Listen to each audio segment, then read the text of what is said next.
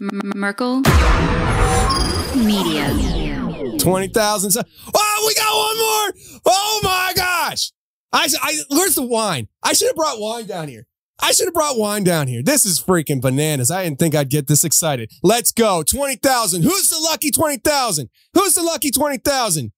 Come on now. Oh, come on. 20,000! Let's go!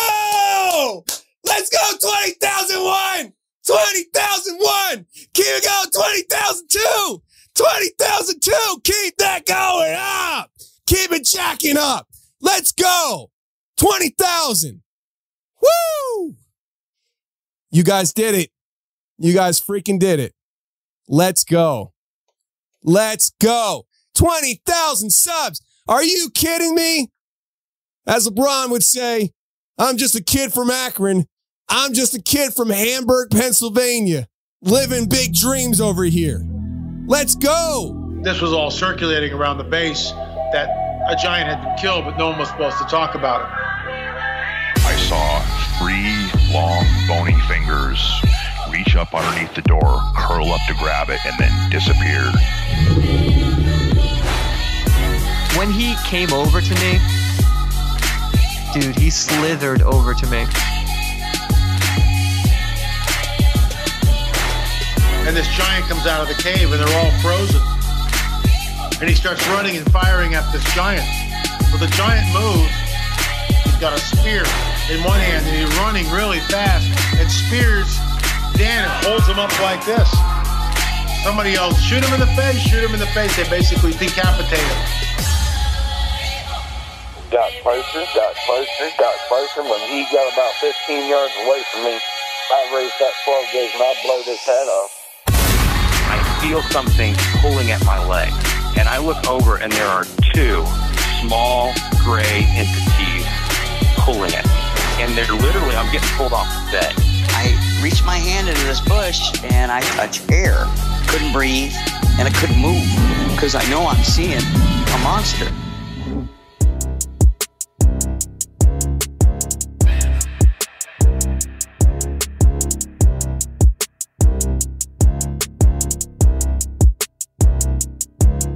Yeah. Welcome to the show, everybody. You're listening to The Confessionals. I'm your host, Tony Merkel. Thanks for being here. If you have a crazy, wild experience you want to share with me on the show, go ahead and shoot me an email. My email address is theconfessionals at theconfessionalspodcast.com. That's theconfessionals at theconfessionalspodcast.com. Or go to the website, theconfessionalspodcast.com, hit the contact section, and you can reach me that way as well. Either way works for me. Just get a hold of me. If you want to hear more shows on a weekly basis, go to theconfessionalspodcast.com, hit the join button, and become a member today because you'll get access to all the membership content. That means bonus shows every Thursday, that means overtime shows, and that means the Tuesday shows ad free right there on the appy. So if you guys want, go ahead to theconfessionalspodcast.com, hit the join button, become a member, and get access to all that stuff on the website and the app. Also, friends, prepare with theconfessionals.com. That's prepare with theconfessionals.com. Go there, get yourself emergency supply food and survival gear that will last you up to 25 years on the shelf. So the survival gear is going to be top-notch stuff and the food will last years to come. So it's a great deal. We have a lot of great deals going on right now. So if you want to make sure you and your family are good, you want to stock the pantry for those emergencies, go to preparewiththeconfessionals.com and get your emergency preparedness on. Friends, if you listen to the intro, Right there before the music kicked in, you heard me celebrate 20,000 subscribers on YouTube. We've grown over 10,000 subscribers in the last eight months on YouTube, and it's amazing what happens when you actually try with things like this. And about, uh, I'd say about March this year, I started trying with YouTube, and here we are. We're growing on YouTube. I plan on growing it well beyond 20,000 subscribers. So thank you, everybody who's been going there and subscribing. And if you haven't done so yet, what are you waiting for? This interview right now is going to be on video right there on YouTube, so you can watch me and my guest talk, and you can even watch me talk right right now on YouTube. So go over to YouTube if you haven't done so already. Look up the confessionals, hit subscribe because that is where we're going to be dropping all our video content moving forward. Thank you very much. Also, friends, if you hadn't had a chance, head on over to Amazon and purchase your copy of Who Saw the Men in Black, which was a documentary that I was a narrator on. Please go ahead and get that on Amazon and also leave a happy five star rating and review if you go to Amazon for that stuff. And if you want a quick, easy access to it, hit the description right now below this episode because I have the links waiting there for you. You don't even have to do any quick searches or anything like that. Just hit the link and it'll redirect you right to where you need to go.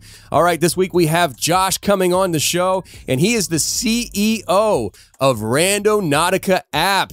Shout out to Josh for coming on the show, making the time to talk to us. Over the years, I've had people ask me about the Randonautica app. I am fascinated by this app. I've always have been. The idea of going out onto a random adventure. Like this app is supposed to give you random coordinates that you are supposed to go and find random things at these random coordinates. Like you set an intention in your head, like I'm looking for treasure, then it will give you this spot to go check and you go there and you're looking around to see if there's anything there. Usually he said within like 1 to 3 tries you're finding something anomalous at these locations. It's really interesting. And I was always interested in it. Just the idea of the adventure, going out and checking out new things, things that you normally wouldn't go and do if you weren't using the app. And uh, over the years, though, there's been a lot of controversy about the Randonautica app. Some people suggest it's like a Ouija board and you're actually talking to spirits and they're directing your path. Uh, Josh comes on to dispel some of that stuff and maybe even let some credibility in a sense to that stuff as well. I had a great conversation with Josh and he goes goes into a lot of different things, but I will tell you, friends, that we are not here to tell you what to think when it comes to using this app or these kind of things in general. I am not the host of this show trying to dictate what people should think.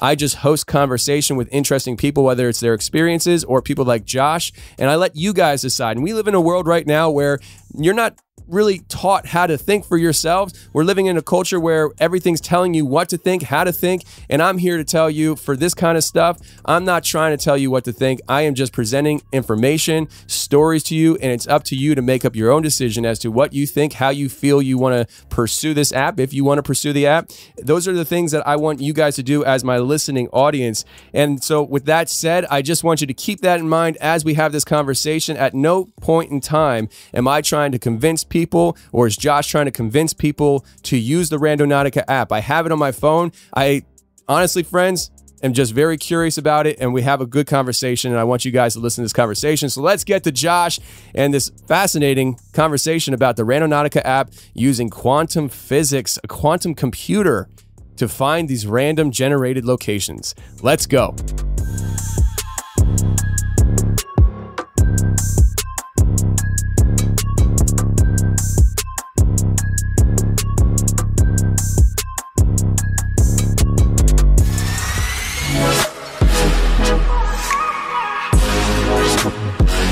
All right, today we got Josh on the show from Randonautica app. Josh, how you doing, man? Good, Tony. Thanks for having me on. I know a lot of people are excited about this one, so I'm ready to have some fun, talk some weird stuff, Let's maybe some, get some secrets, maybe so that people don't know about yet. I dig it, man. Listen, if we can get if we can get into the hidden secrets and stuff behind the doors of Randonautica or whatever, I'm down for that action, man. I uh I absolutely am fascinated by this app and I have been for years. I um when I first came across Randonautica app is when you when you guys first came out. Uh I'm assuming. I mean, this is probably like 3 years ago, 4 years ago. Yeah, it was about three years ago, I think. At this point, I have no conception of time, so it's hard for me to tell. But yeah, I was.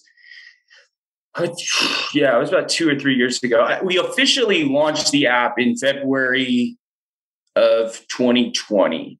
Is when we released the app. But before that, we had a Telegram bot going that was sending people to random places. So we caught a lot of mainstream movement and stuff before we even released an app. And for the longest time, I was just like begging people to make apps to go make you go to random places. And now there's like 50 rip off apps for ours. But like for a long time, I was just trying to get people interested in the idea because people like just were so like sketched out about it and like the, the same things that we're seeing repeating now, which we'll get into later, I'm, I'm sure. But like with the, the whole public perception and these fake YouTube videos and stuff, it's been there since the beginning. And these same elements have been there since the beginning. And it's like almost like this shadow proje- projection. So when you're when you're randonauting, you're literally we, what we call an, a random point is called an anomaly because we use this mind machine interaction algorithm, right? So this supposedly our hypothesis our hypothesis is that your brain influences this random number generator, which can take you to a place that you are thinking about or talking about, or you set your intention towards finding this certain thing. And so, like, we started this thing, and it was like 25 to 30 year old seekers, pretty much. Like, and we were like really taking it seriously as an experiment. And then it, it blew up in, on TikTok and went crazy. And people started using it for reasons that the original members would never do like, going out with the intention of looking for death like we would never use it that it wasn't intended for that but it became that because the collective unconscious especially being locked up in covid lockdown and everything that's what was on people's minds. And so you kind of saw the collective unconscious conjure this death and scariness and then that's what really took hold. And um they found the dead body and that's what really like blasts i mean it was like going on national TV like the next day, rearranging my girlfriend's apartment, my now wife. It, like it's crazy, like how how that happened. Like, but we we ended up being part of a story that solved like a crime. You know, that people will see. Oh, they just found a dead body. It must be bad. But that's really your shadow projection of what your intention is based on the app. Really, it's like looking into a mirror because it's based on your intention. So if you only see the bad parts, that's really you're looking at yourself, kind of, in my opinion. Yeah, uh, and that's interesting that you you say that with the whole collective consciousness and how things were uh, in 2020 and obviously 2021, and uh, yeah. the the finding the dead bodies and things like that. So this um the way this is this is happening then is so you you were trying to find somebody to build this random generator app and uh, how, how did, where does the the quantum level of a computing come in play here? Because from what I understand, uh, there's some kind of quantum computer in Australia that you guys are using. And yeah, so we're yeah, we're basically we're using a quantum random number generator that's used in Australia, and they offer an API that anyone can use. You can go to the website; it's qrng.anu.edu. Anyone can use it. Um, it's a reliable source of quantum random numbers. And so, like, the, the idea is that quantum random numbers are truly random, they're truly unpredictable. Whereas pseudo random numbers, which is what people generally generate, like on their phones, or it's using a lot of software for a lot of reasons, but it's generated deterministically. So, like, there's a seed. And if you know that seed, you can predict the entire string of random numbers. However, with the quantum one, there's no predicting it that that that anyone has found so far anyway. That so it's, it's seen as being truly random. And so that's why we have the options of using pseudo randomness which hypothetically could not be influenced by consciousness because it's already deterministic. It's already set in stone what the numbers are going to be. Whereas a quantum random number generator could be any number and, and you, there's no way to expect it. It's a, it's a, it's a high level of entropy. And so what, what entropy does is, is it, is it makes this unexpected kind of like thing that your mind can influence. That's the hypothesis. And so once your mind influences the entropy, it becomes non-random. So if you use the random number generator, to find a location that you were thinking about finding, that's not a random event. That's actually a causal event. So that's the kind of paradox that's kind of interesting. It's like it's all randonauting, it's all random, but if you truly did influence it, it wouldn't be random. It would actually be causal. So there's a lot of different ways to look at it. And a lot, a lot of people have their own pet theories, and that's part of the, the I think the fun of it is everybody kind of like has has a pet theory like yeah the what we call anomalies this is where i was going with this now i remember we what we call anomalies are these like close clusters of random dots put on a radius. And, and they're so densely clustered that they are so statistically different from a normal random distribution that we think there might be something interesting there. But when we talk about anomalies, the brain sees an anomaly as a threat. So we go about our daily lives, and if something is out of place, we notice it and we you know our brain is kind of kind of telling us to protect ourselves from that and so what we found is people have this sense of despair or, or fear uh, just at the prospect of going to a random location. Like there must be something behind it. It must be human traffickers. They must be collecting our data. We don't we don't we don't sell any data. We don't do anything like that. Like it's not hackable. People will come up with all these all these explanations like they're listening to our phones and then sending us to a place that has something to do with us. And like that would be so much harder than what we're actually doing. Like if we had the capacity to do that, we would be like billionaires probably. Like, yeah. But we, we, were not doing that. We're doing experimental consciousness research, which unfortunately isn't like the big money thing right now. But I think it is kind of sort of going in that direction. So no, I, I think it definitely is going in that direction. And and one word of advice as somebody who's been dealing with this type of community for at least five years publicly, uh, the moment you start collecting people's data, you lose your base. So right, the like the, these are the people who are really into the randonauting and this kind of stuff uh, they have a general distrust of authority, and so yeah, absolutely, uh, as do I. I mean, and and we our employees will would quit if we started selling that data. Like, yeah, I mean, then how it is. Then like, now, yeah. now you might as well just call yourself big tech. I mean, that's that's yeah, exactly what it is.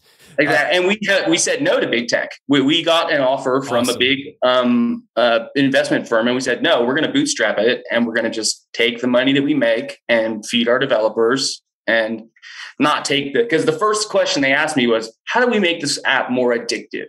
And i was like whoa this isn't about being addictive. This is about being more connected to the world finding places you didn't know about you know finding meaning which which is like the biggest problem i think in like our generation is like people have meaning this feeling of meaninglessness. And yes. when you find a synchronicity or a coincidence that's meaningful to you you find meaning in that and that's something that, like, especially when you're cooped up in your house all day and you literally can't go anywhere and you can't meet up with your friends, finding meaning in the outside world is like magic almost. And so, and, and, and it just works. And so I have personally kind of like, I was like a really true believer in the mind machine interaction stuff because I have seen some cool stuff where we can influence the odds of something like five to 10% above chance, which like was really exciting because like if you consider that to like going to a casino or something and winning five to 10% above chance, you could make a lot of money. Like for instance, that's a practical application of gaming randomness. So we're not really interested in in gaming the stock market or um, casinos, but a lot of people who do this kind of research are going to casinos and they're using mind machine interaction to influence um, uh, slot machines. This is something I should not be saying, probably, but I am. um, and then once you can influence the slot machines, you can go to the card table and influence the decks that are being shuffled. So that's where I started going. Well, does it matter if if it's pseudo random or quantum random? Is it or is it just all some phenomenon that is going to happen regardless? Because people go randonauting without the app. It's like there was the Derive, like with uh, Guy Debord and all of those people, the letterists, the situationists. And there's all these yogis who can make things manifest and like it's like a siddhi spiritual power like in a lot of traditions to be able to do this like to kind of like know where you're going and know that you're going to find it. And um, we just basically took the a lot of steps out of it and just gave people a direction to go. And then once they start looking they find it. It's not in the app it's in the brain. Like even the like influencing of probabilities and influencing of random number generators it's it's using your brain as a biofeedback device. We're not claiming that the random number generator is accessing the conscious field. We're claiming or hypothesizing that the, your brain connects to the conscious field and the random number generator just acts as a biofeedback device. So it goes, oh, I'm, I'm kind of like looking at your brain where it's influencing the bias of this distribution of random numbers. And then it kind of like will find a hit point and it doesn't work every time. It doesn't work every time. And people like will give us like a one star review, like, oh, I just found a street or something. It's like, it's about the whole experience. Like you need to like where you're going and coming and you can deviate from the journey and some of the coolest stuff I found just while I was randonauting, but not at the point exactly. Like just it's better. The, the rule of thumb basically is to tie three chains of points together. So you, you start off somewhere, go somewhere random, then go somewhere random from there, and then go there from there. And once you hit three, you'll usually find something that's just kind of weird and out of place and like it, uh, unexplainable, kind of just like, wow, that, that was weird. So that's what kind of tickled my fancy. So what on on what? All right. So if if you're gonna hit maybe something that's kind of out of place, one in three tries and, and in right. consecutive, not like today, tomorrow, and the next day. Uh, what are the the odds of that? Uh, out of that, what are the odds of having an intention and finding that intention in one of those places, you know? Um, so that's something we're interested in and, scientifically measuring. So we, we, we, like we said, we didn't collect data at all, at all for a long time.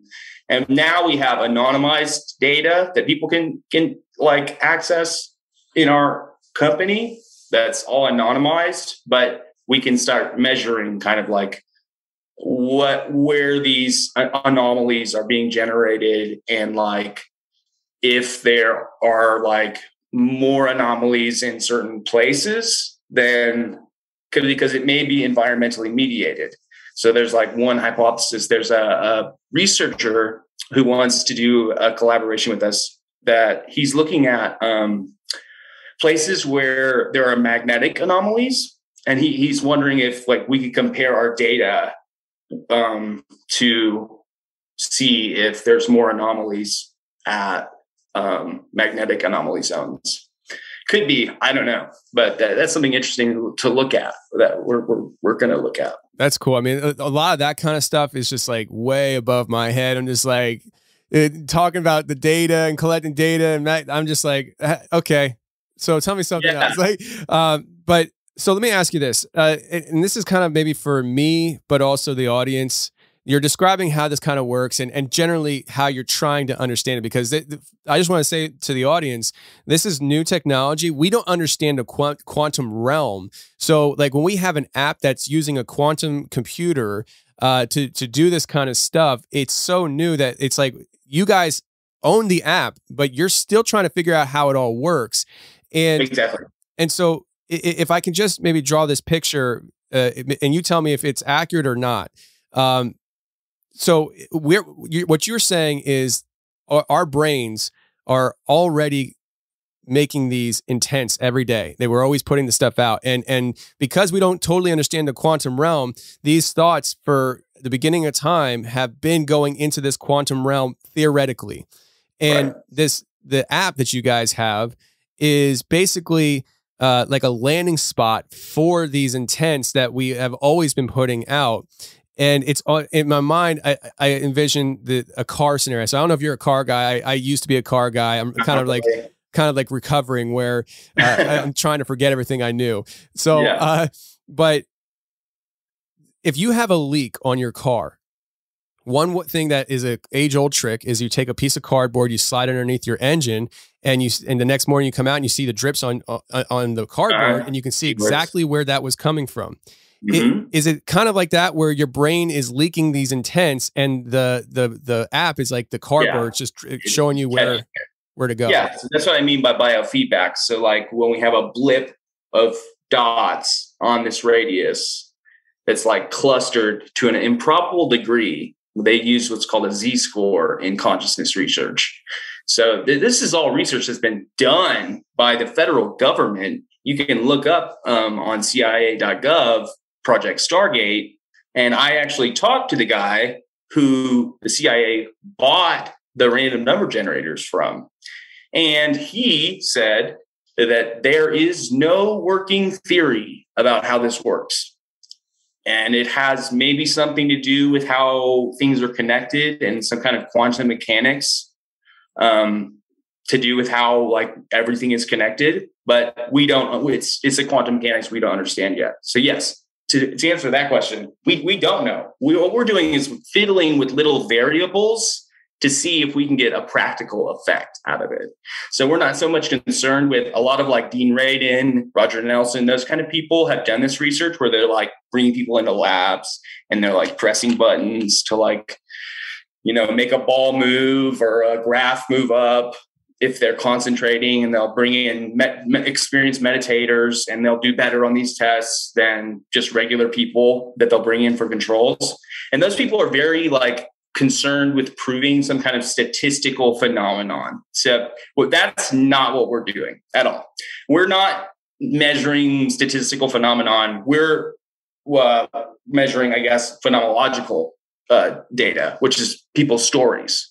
We were we're really just interested. That, that was really my spin on it. Kind of, I, I saw a random number generator, and I said, "Hey, you could be the hero of your own legend through your own story if you just go out into the unknown. And that was kind of my stamp on it. And people are going to have lots of different takes on it. And it's already happening. People are using this kind of idea and branching off and making cool stuff. So like I'm excited about like what maybe like gaming will look at will look like if we can consciously influence like you know if if you're like you know shot somebody in uh, CS:GO or whatever, uh, Counter Strike or whatever, and part of it had to do with your intention and how strong your intention was that could be like cool as a practical application. Or like you know thinking i wanted my lights to turn on and then your lights just turn on. That would be a cool practical application.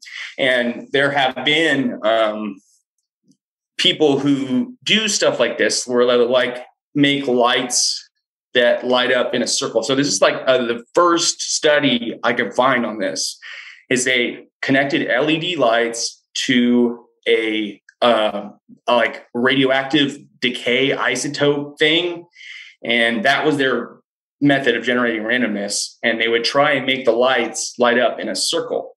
And that was like the first study, and it was like in 1950 or 60 or something. So like this research has been been going on behind a veil though like we kind of pushed it more to the front and it's getting kind of ob- obfuscated because like it's just this now a, a, narrative about a scary app which is i love being an urban legend like i love that I, I think it's great but there is like some science behind it. And so we're starting to work with real academics and like people who actually have phds who have spent 20 years in a lab studying this stuff.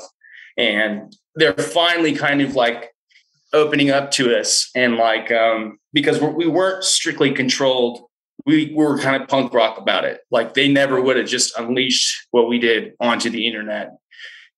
They would be like let's have two people in a lab and see you know and then it's like we have this amazing infrastructure for like mass experiments on like human consciousness and like I just felt like it was time for it to not be hidden anymore because it was already this research was already going on behind closed doors. There's a marketing firm called Qualtrics, which you will find that they market to people, but they also did a public QRNG quantum random number generator test where they had people look at a string of random numbers generated by a quantum random number generator and they said if the numbers were significant to them in some way. And most of the time, they were significant to them in some way, like it was their address or it was their phone number or their friend's phone number or something. But it's funny to me that this marketing firm is experimenting in this same thing. So you could be marketed to based on intent. So a lot of people, you know, with a, with a Facebook like thing, like, oh, I just thought of that. I didn't type it into Google. I didn't say it, but somehow I got this ad for whatever. butt wipes. I don't know. Yeah. But like whatever, you were just thinking about it, but you weren't going to type it in, but it comes up. I think they're using it. I think they're using it to market. I think they're using it market on people. I think they're using it on They people. And I wanted people to use it for themselves. So that that, Yeah. that was kind of my mission. Well, uh, it, it's the concept of you know you're you're thinking about a song on the radio, you turn on the radio in your car, and all of a sudden it's playing at that same spot in your head and stuff. There- there- Yeah. there's something there. There's obviously something here there because I just said something that you nod your head to because you've heard of it, you've probably experienced it. Everybody listening has experienced Right. it. So there's literally something there, and they're trying to harness it. It just happened to me this past week in a way uh, where I'm working on uh, developing a, a new way I'm going to do interviews. I'm, gonna, I'm, I'm trying to scrap um, Zoom and all that stuff. And I'm trying to do something, basically step my game up. And uh, I'm looking at different technologies. And uh, the next day, one of those technologies I hadn't found yet liked my show Huh. on Facebook. Wow. And so, like, it, it- it's it's like some. It, it could be easily, you know, them collecting my data and then selling my data to companies that want it, kind of thing. But it it it it's going to get to the point where the consciousness they are able to tap into the consciousness and like this little cluster of dots over here is an anomaly. Let's go get that because it's already Right. looking for us. You know, it's, it's almost like reversing what we're doing here with Randonaut, where it's like you're going to look for the anomaly. Well, all of a sudden, somebody else identifies you as the anomaly and they come to you. intention. Yeah. It's Yeah. crazy. when coupled with mach- machine learning, I think that um, you could really do some crazy stuff like that. Like uh, this is only conjecture that I've heard, but I've heard that if you replace um, some machine learning algorithms random component with a more responsive um, piece of hardware, because there's not all random number generators are made the same. I have one that uses electron tunneling technique, which is different than what Randonautica uses we use ANU's photon. So they're both bouncing a laser off a mirror and counting the photons. And what this electron tunneling technique does is, is, is the same thing, but it's in like a USB stick style thing. So like there's different kinds of of of, of ways of generating this randomness.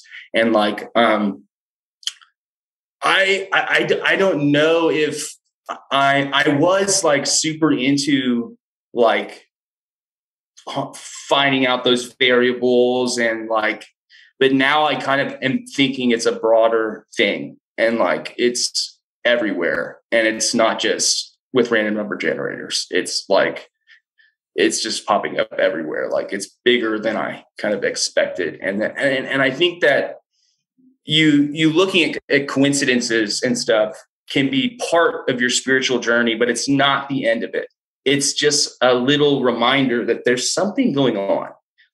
It's not the end of it.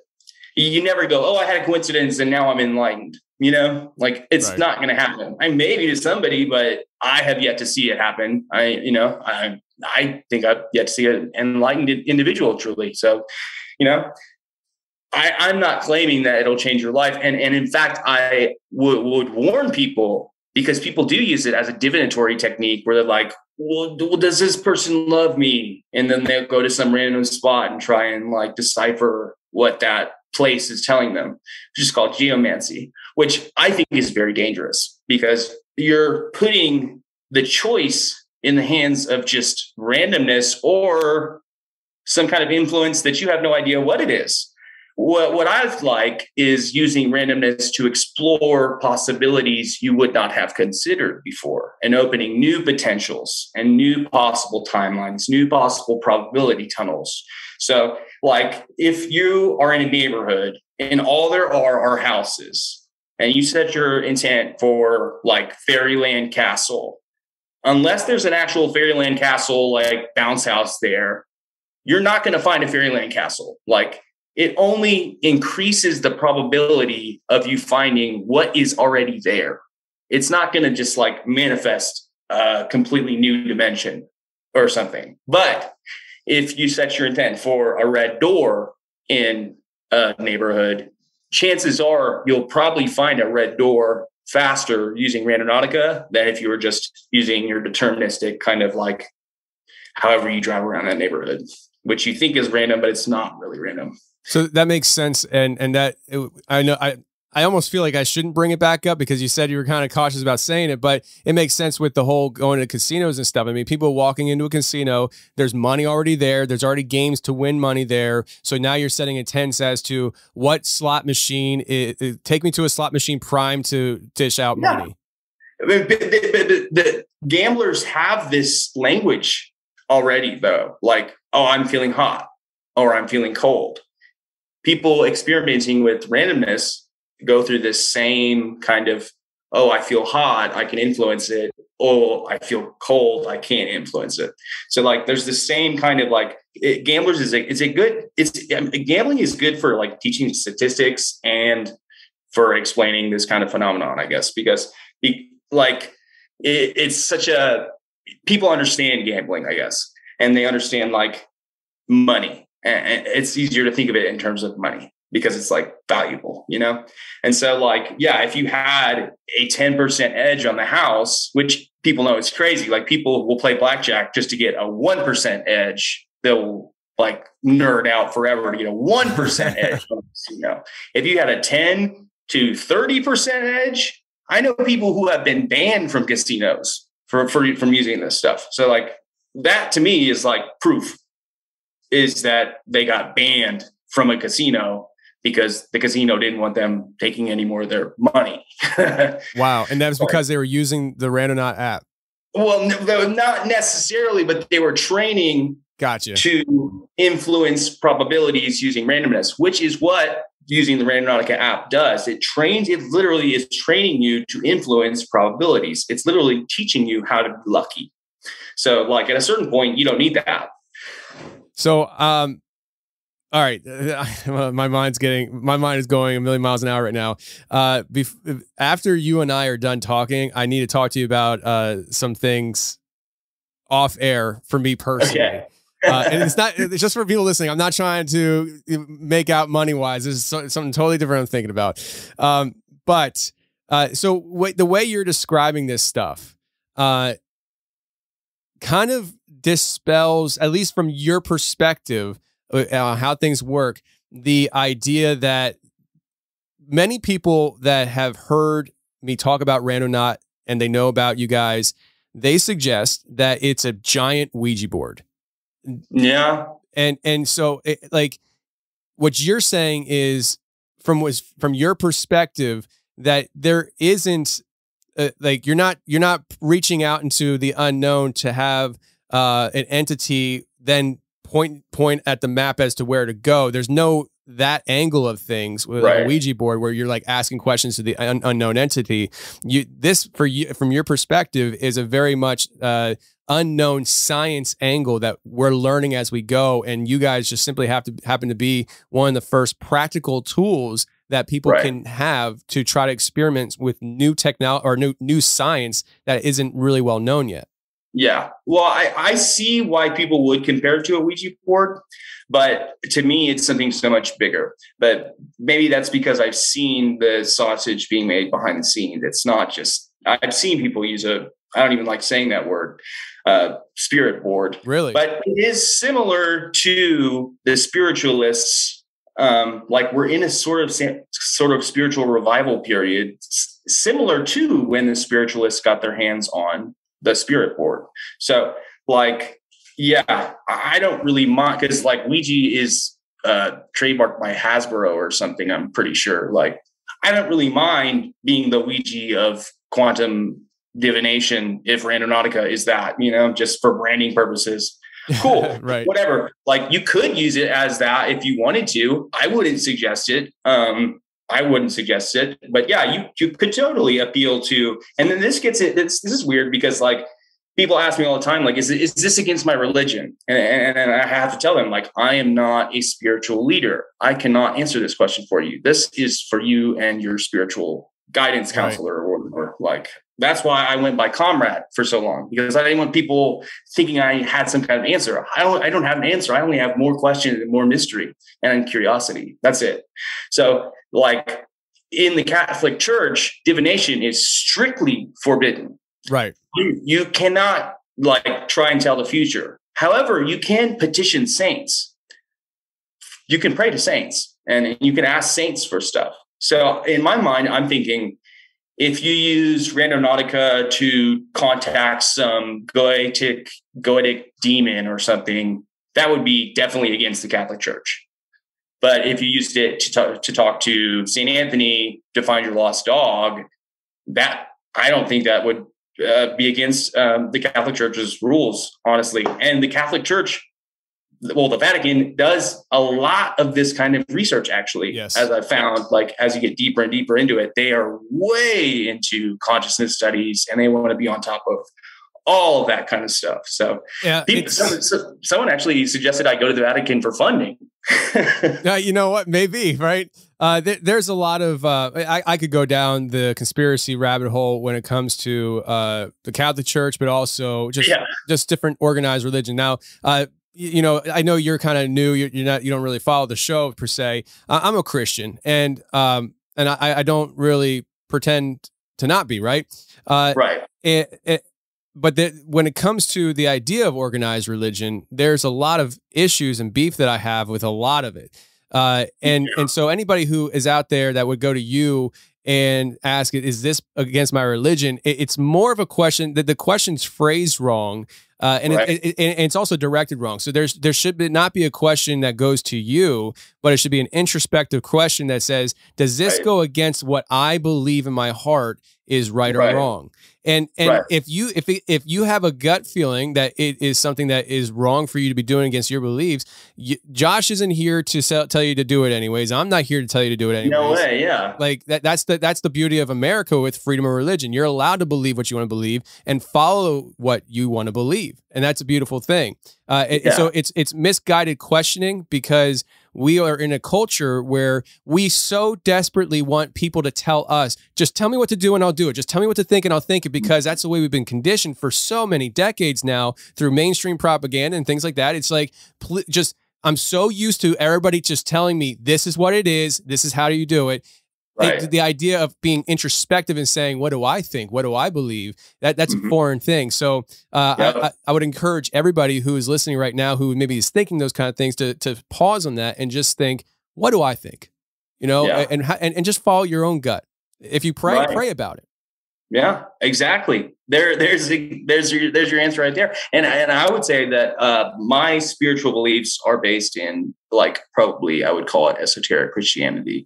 Um, I would I would definitely say my my beliefs are rooted in Christianity. Um, but of course, there's like organized religion and all of these things that go terribly wrong. You know, when any group you know starts just doing major things, horrors, horrible atrocities happen. So Yeah. yeah this that's neither, neither here nor there but yeah it is interesting that like i can consider myself a christian and still use Randonautica, but other people are like oh he's talking to demons when it's only positively affected my life like and only actually affirmed my faith actually because i was less spiritual and i was more like atheistic and this actually has confirmed my faith. So that's kind of interesting.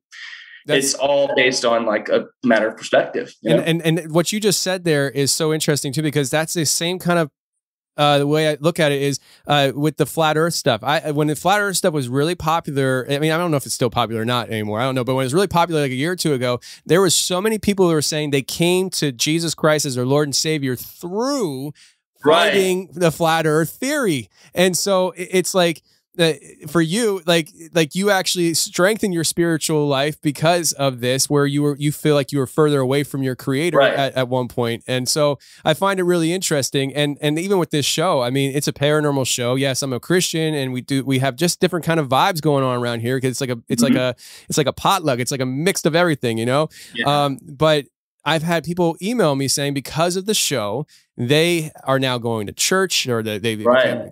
became, became a Christian, all this stuff. And it's just like, uh, a paranormal show did that. That's that's I find Yeah. that pretty amazing. And so Yeah. it's about perspectives, and everybody comes from their own different path and and, and place in Yeah. life, and you just never know what stone you're going to unturn that's going to change your life. You know, for you Yeah, I I have a good story about that actually. Like someone went randonauting. This is a post you could probably find on the subreddit by searching demon. So someone um, went randonauting with the intention of demon, which I would never advise. Like, why would you want to? You want to invite things that you want into your life. I don't think a, a mentally well person wants a demon in their life. But they found a piece of graffiti that said demon.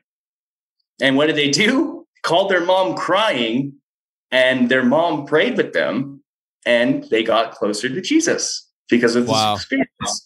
So it's kind of a roundabout way, you know, but it, it is interesting that like this secure circuitous path, like this is what we are doing is like people always think of things from their logical predecessors.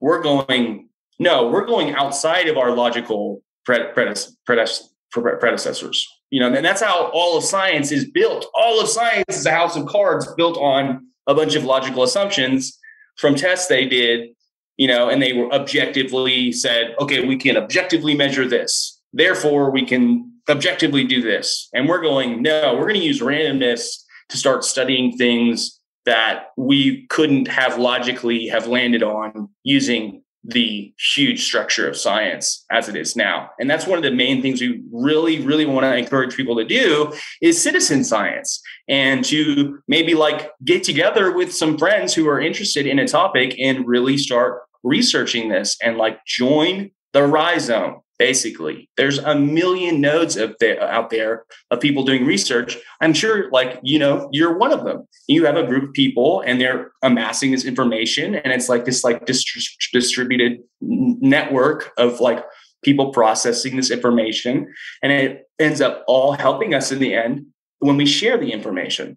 So I I would I would definitely suggest to people this is this is what we call noveltism is we want to get we want to get like science out of the hands of the few and into the hands of the many. And so what this takes is decentralized open source kind of networking. So like I would never hide any papers I found on this kind of subject. And that's how I was able to find a bunch of people smarter than me to help develop what I could see was a possible like angle into mainstream culture. That's and interesting. you know that happened through being open you know not being closed off and that is very unintuitive to a lot of people because we're taught oh you got to hoard it it has to be yours mine mine mine this is my information my research it's like no it's a paper you found on the internet share it with someone you know and then they'll Right. give you some feedback that you wouldn't have thought of. And and this is like how Randonautica was initially built, basically, was just from people just experimenting with different things. And and we eventually found like methods that we can't explain how it works, but practically we can say we're using Randonautica, it increases attention response, it, it, incre- increases focus. We can say these things. We can say that um, there's a, a scientific study that says going to novel places makes you happier. There's a, uh, you know, honest to God academic study that shows peer reviewed that people going to just novel places, just new places, it creates new neural pathways and it makes you actually happier. So, like, there's some things we, we can say for sure from Randonautica, like that we have found. And, and this is like, we're not the only ones doing this. Like, there's all sorts of people, in, you know, investigating coincidences and randomness. And this was just kind of like our team's spin on it. Yeah, you know, it's every new level of science has a doorway that everybody has to walk through. And it's like Randonautica is that doormat that everybody has to step on as they go through that doorway. And Yeah. it, it, it's it's really uh, something that it takes a special type of uh, mindset to to be that. Uh, because what you're describing is stuff uh, nobody wants to be the platform where everybody just kind of steps on to get to the next level, but nobody really appreciates kind of thing at the end of the Right. day. But you're just like for the for the betterment of of the future of this this new science, this new whatever you want to call it, it. It's somebody has to be that doormat, you know, of just people just being willing to share with with everybody who approaches that that doorway, and Yeah. uh, I, I find that really cool. Um, now, let me ask you about uh, so we, we talked about maybe more of the spiritual side of like you personally Yeah. and how it's helped and, and me the show this this that and the other and the idea of uh, christian values and things like that and you mentioned about more esoteric christian uh, maybe if you want and you don't have to if you want maybe elaborate more on what you mean specifically by the esoteric christianity because uh, the next question i would have is a, a conspiracy theory that i've seen about your your app uh, which is the logo, the owl, uh, because people are talking about, you know, this is this is uh, evil Ouija board, this, that, and the other. Then they have the owl, so now we're saying it's occultic, it's an occultic organization, and you're willingly participating in occultism and all that stuff. So take it away. I just gave you a loaded I- chamber. Okay, I would love to. I would love to address this. So yes, we are absolutely dabbling in the occult because Okay. what is the occult? The occult is what is hidden, and when you go randonauting, you are shining a light on what is hidden. So you are literally diving into the occult, the hidden, and so that's what the owl represents because the owl sees in the dark, and a random randonaut learns their entire geographic landscape by going to random places. And through that, they can see in the dark.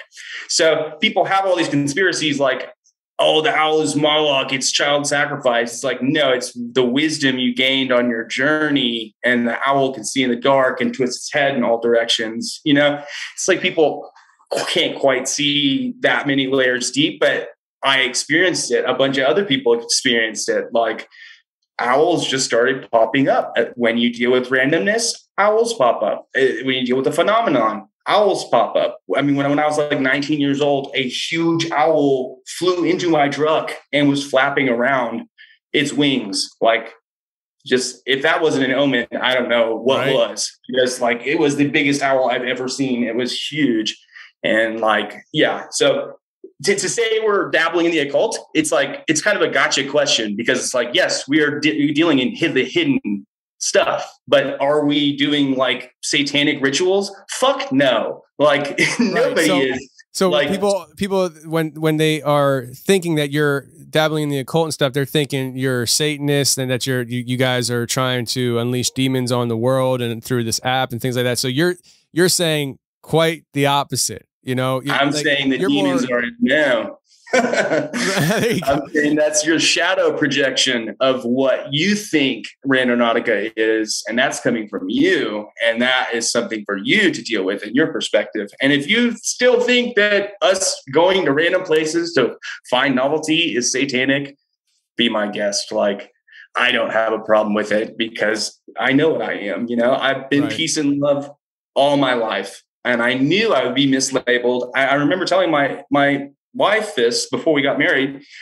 Uh, We were camping, and I was like, it was right before we blew up, and I was like, I know I'm going to be mislabeled, but you know that I've always been peace and love, always been peace and love. And when the, they found the dead body, it was like, this guy's a murderer. Even though he lives in Texas and they found a body in Seattle, he's somehow a murderer. And it's like, I'm like Dexter or something, some evil genius who can pull off this murder. But I knew I would be misrepresented and mis, you know, and that I don't mind it. I, I like kind of encourage it, the mystery. And like if someone wants to call me an Illuminati lizard person, I will never deny that. I will never deny that because it gives me so much power. Like, yeah, okay, I'm a crazy occult magician who made 18 million people, you know, uh, do a ritual that changed Earth like forever. Okay, fine. like, I will never deny that. Like, So- yeah, I, and I, I kind of get similar things thrown at me. Uh, I recently just started taking YouTube serious. I've been podcasting for five years, and just this year, I think in March or something, I started taking YouTube serious, and it's been growing and things like that. But be- because it's growing on YouTube, uh, there are new people coming to the show that never knew about mm. the show. So they don't have the long history that the listening audience has of knowing Right. who their host is. And Right. so they they they tune in to they know it's paranormal for, for the title's sake or whatever, and they see the logo, the one that's on the wall behind me, and they're like, "This guy's clearly an occultist because Yeah. he's showing one." Aleister Crowley or something. Yeah, he, he looks I like can totally see it. he looks like Anton LaVey. He's covering, Yeah. he's covering one eye. He I has can totally see it. he yeah. has the black and white logo, and I'm just like, actually, the truth of the matter is, the very first logo we had is very similar to that, only I slapped it together from images off Google because I didn't think the show was going to last. And then when I decided to make the logo, my artist said, "Send me pictures of your face." I, uh, doing the what we were doing on the logo originally was which which was the shush uh, logo, yeah. and he took my face and did that, and I was like. Looks cool to me. Sounds, cool, Sounds yeah. good. Not much thought process went into it. Just give me a cool looking logo, Lika, and he came up with it. So yeah, it, it's. I mean, the mislabeling yeah. is rampant. It's because it, it's it's kind of circles back to what you were talking about earlier in the show, which you know the app giving people uh, maybe meaning in, in a sense mm-hmm. where it's like you know you're locked up in that house you're bored you, you, maybe you're a depressed person you have no hobbies your life just seems like um, I, I, go to work, I can barely pay my, pay my bills, and this is my life is. And all of a sudden, you find this free app or whatever it is. Maybe it's a few bucks down, I don't remember, but uh, you download it, and all of a sudden, you're using it, and it gives you a hobby, gives you something to do. You think is cool. You feel like you're tapping into something that is just unknown. Yeah and uh, it gives you that that meaning and stuff. And and so there's that angle of it, but then there's also the angle of the mislabeling, and people are like, nope, it's just completely evil. I guarantee you that I'm going to have people emailing me telling me that this is this is an evil app, and here's why. And I should have asked this question because it would have been the yeah. question to expose everything. I know. Yeah, I which mean, I welcome, by the way. I welcome those emails. Yeah. I, I mean, I welcome skepticism in general, but I, I think shadow projection is a very real thing. And um, we're dealing with coincidence. Carl Gustav Jung has to come up, and he talks about the shadow in length. And the shadow is like when you're projecting all of these bad things, they're basically yourself onto something else. And so you haven't kind of integrated this sort of like being able to dive into the mystery because you just go, no, the mystery is demons I don't I don't want to learn the nuances of because I do believe there is good and evil. And I do believe there are demons. And I do believe that if you really wanted to, you could probably get a demon to influence you using Randonautica. That would be totally up to you, though. We don't would not suggest that at all. I would, yeah, but here's warn people against that. Like, and here's the thing with that that concept, though, what you just said is that yeah. So you just said that uh, you, you could use it for that kind of purpose, but it's not just Randonautica that you can use for that purpose. Right. I literally can make a Ouija board in my office out of crumbled up piece of paper that I uh, and and do the same thing. I can literally yeah. sit here with a with a necklace and hold it in the air with a yes yeah. and no underneath it and, and start asking questions. Like you don't right. need Randonautica. You don't need a Ouija board from uh, right. the, the toy store. Like you can literally use anything because like now the circle's full circle.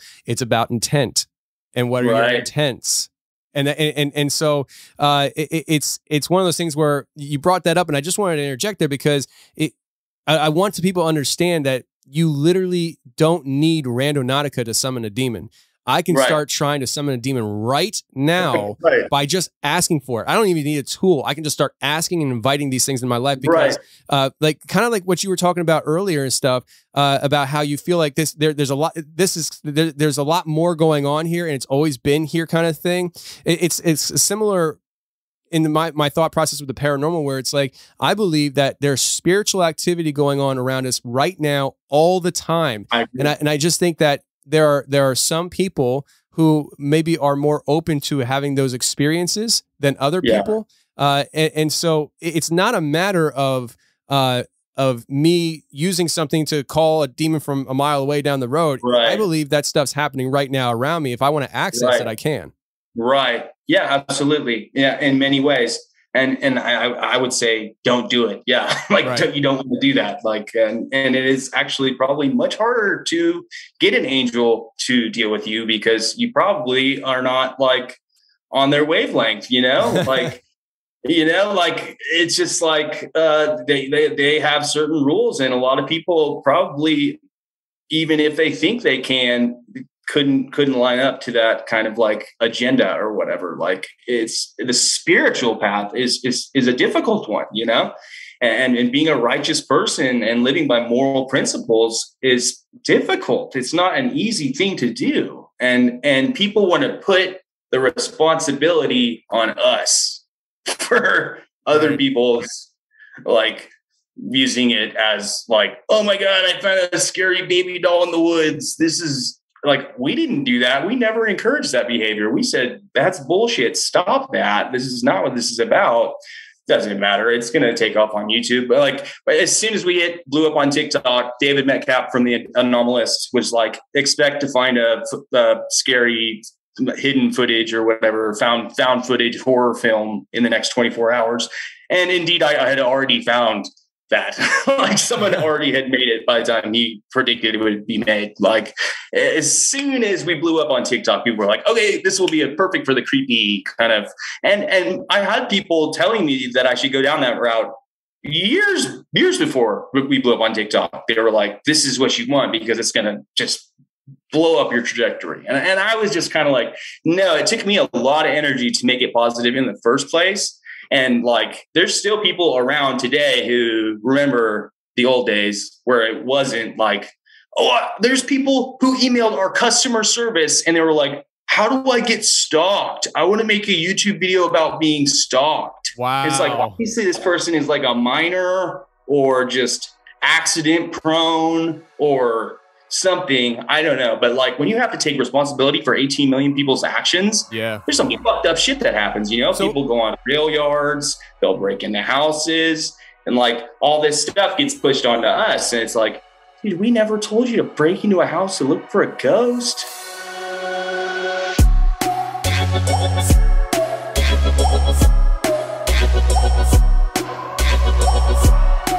Okay, let's talk about a sponsor for today's show, which is Cerebral. We've had Cerebral on the show before. Cerebral is an online mental health service that offers prescription medication, counseling, and therapy for anxiety, depression, ADHD, insomnia, and more.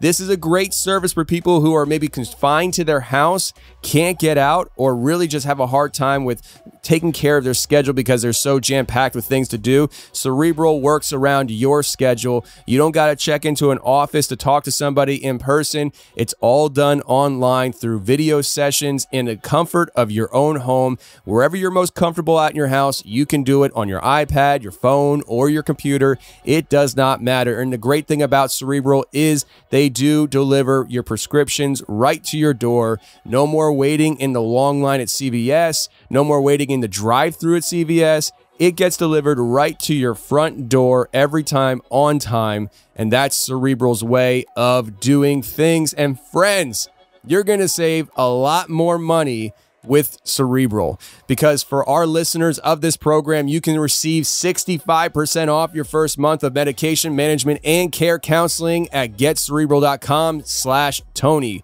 Go to getcerebral.com slash Tony for 65% off your first month.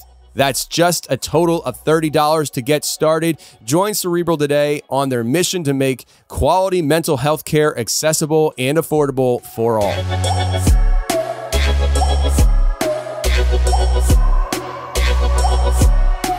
18 million users. That's a lot of people. And Yeah. of 18 million people, uh, how often, because I'm sure it's happened, how often have you had somebody saying that they want to sue you because of something that's happened on the app? Nah, never. We Never? had Really? like no, no, we had one person who was like they didn't they, they they didn't quite understand that it was just randomly generated. They thought it was like a Pokemon spot where we keep coming up there, but it was just like the, the police are going to go to the person who perpetrated the, the crime, not the person who just generated a random point. Like, uh, Right. yeah, we we have connections with the FBI cybercrime unit. Like, we would definitely like um, report anyone who is doing like illegal shit or bad shit. Like, we, we have those connections. Like, where do those connections come from? Are those connections coming from because the app is so popular, or is it that you guys? yeah. Uh, well, yeah, people started fucking around on railways, and we got the railway railroad commissioner uh, personally emailed me, like, and Wow. he was like, "Yeah," and then I have to report you guys to the FBI since I made this, and and we actually cozied up to them because we were like.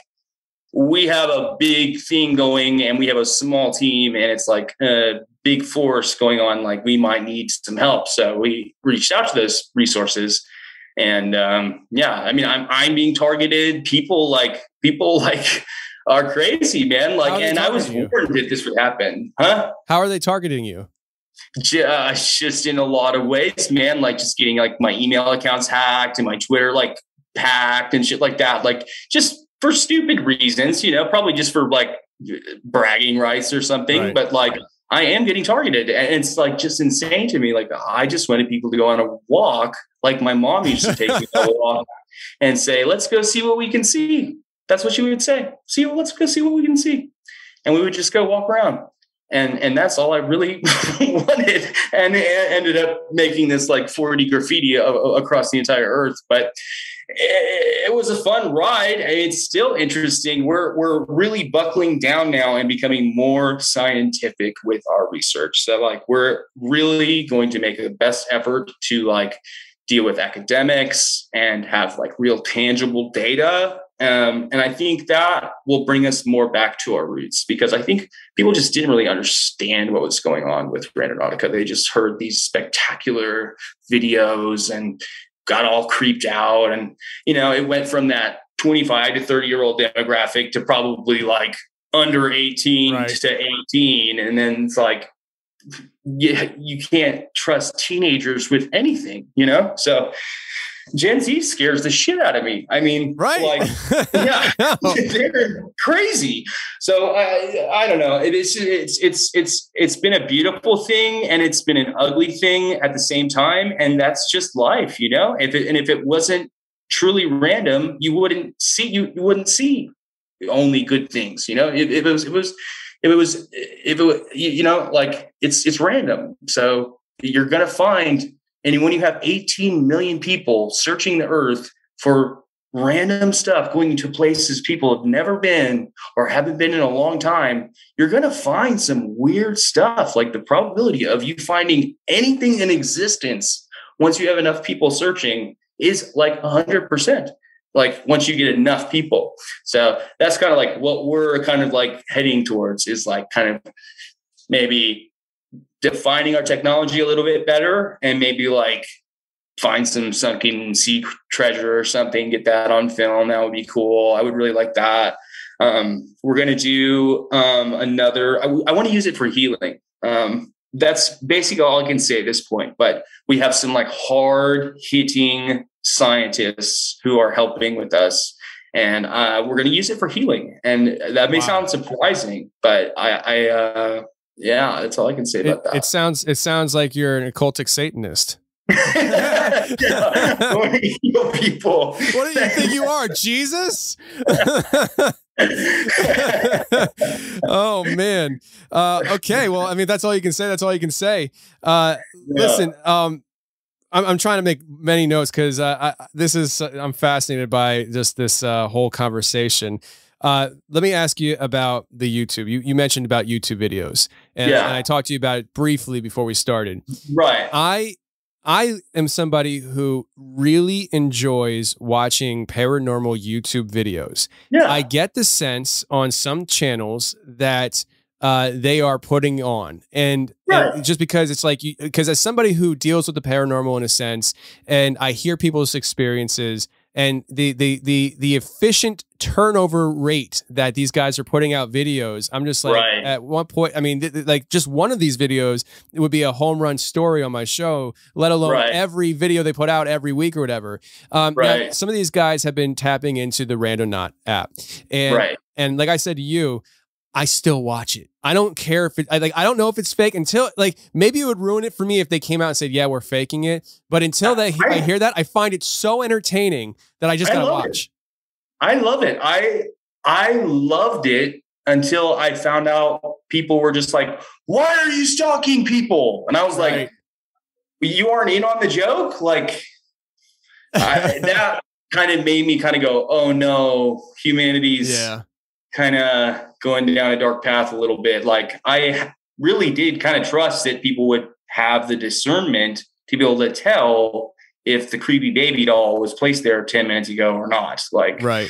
or if someone was just like having their friend follow them in the car and then they were like, Whoa!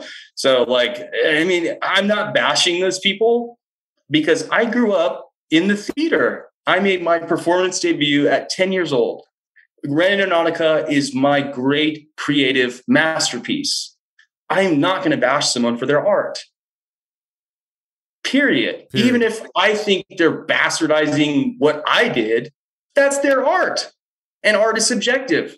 And and you know, people want to say that it like the YouTube is what like got us famous or whatever.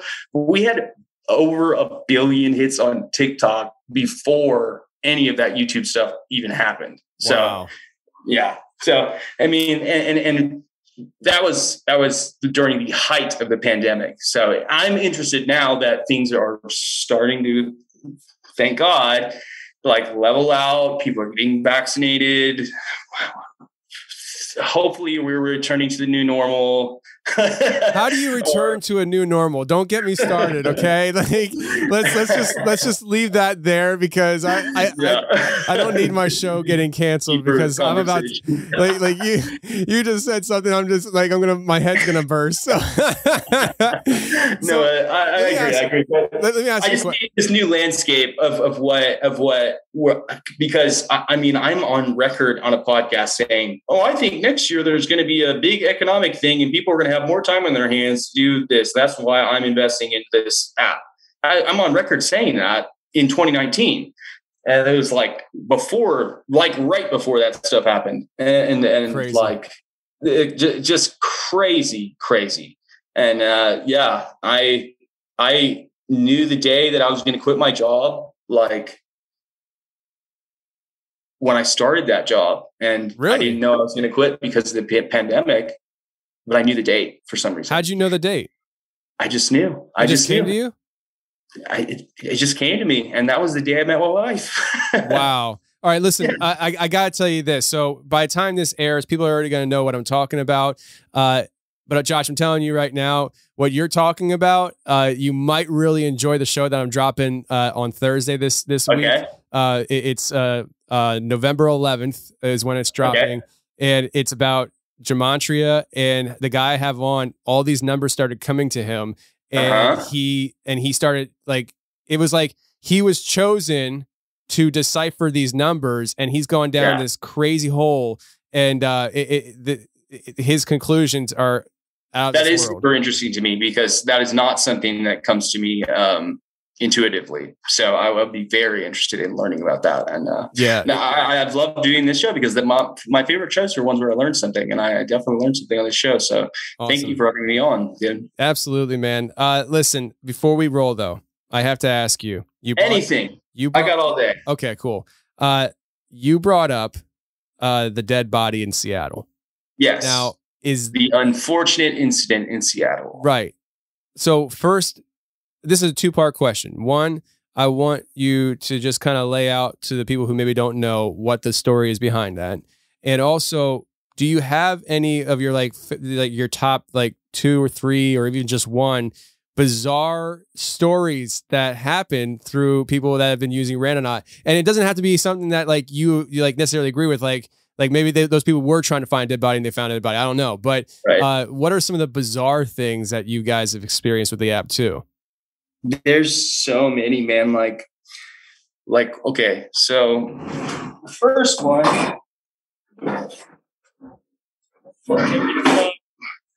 I had my first, like first time I generated an anomaly. I went in the woods in Dallas and I found this drum. Are you serious?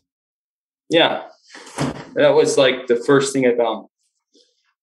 And that, I mean, if you talk, talk about like shamanry and stuff, the drum is like so central to all of that. Right.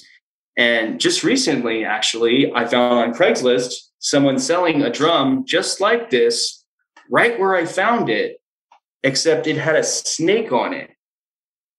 Now, where I found this drum, I took my best friend because I didn't touch the drum for like three months. I b- I brought my best friend, and right at eye level, there was a snake earring right at his eye. Like I have the snake earring, but it's not in here. But I would show you. But it was right on a vine, right in his eye, like four feet away from the drum. I go back another time, and I almost step on a Texas pygmy rattlesnake, which is like a red rattlesnake. Rust colored rattlesnake. I didn't even know there was red rattlesnakes, but when I heard the rattle of that rattlesnake's tail, it permanently heightened my awareness. I was seeing snakes out of the corner of my eye for like weeks. Sure. Like, yeah, I mean, I'm sure people could spin that into some occult experience. And, you know, it kind of was. It creeped me out. It sure did. And like, do I have an explanation for that? I do not. So, like, eh, yeah, you are diving into the mystery. You need to be cognizant of that. Like, and I don't necessarily think it's bad though, because like, but you need to be cognizant that you are affecting your timeline and these waves that you're affecting could not manifest for years down the line. Like in that same forest, I found a crowbar.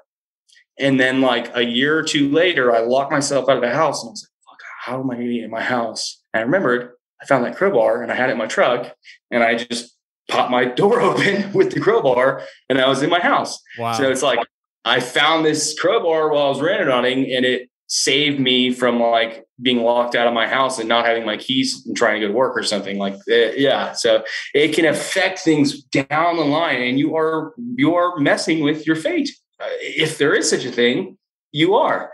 Uh, and personally, like, I like that. I like that idea. Oh yeah. Other people may not, and and that's fine.